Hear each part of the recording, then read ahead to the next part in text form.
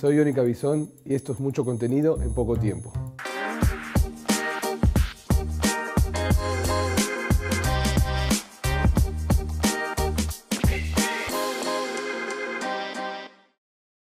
En una ciudad había dos templos.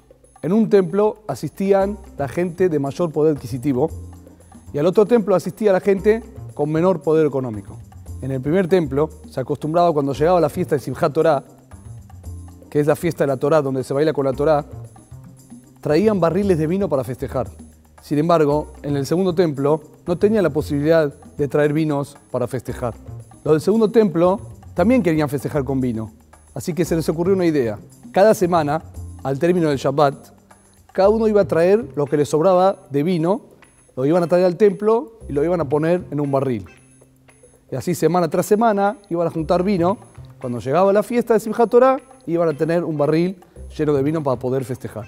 Cuando llega la fiesta de Simchat Torah, abren el barril para festejar y se dan cuenta que era agua. ¿Qué fue lo que pasó? Resultó ser que cada uno pensó, como todos van a llevar vino, si yo llevo un poquito de agua, nadie se va a dar cuenta.